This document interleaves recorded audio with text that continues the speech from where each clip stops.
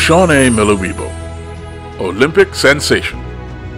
A recent graduate of SAC, Shaunae Miller-Uibo is a Bahamian track and field sprinter who competes in the 400 meters and 200 meters. She was the 400 meters Olympic champion in 2016 and was the 200 meter gold medalist at the 2018 Commonwealth Games.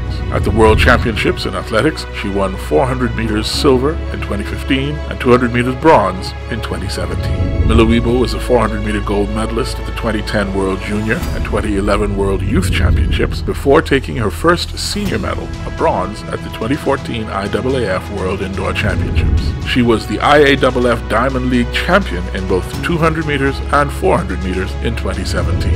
Her personal best of 21.88 seconds is the Bahamian national record for the 200 meters. She is the fastest Bahamian woman over 400 meters with 48.97 seconds, which she achieved at the Diamond League in Monaco in 2018. She holds unofficial world records in 200 meters straight and the 300 meters indoor event.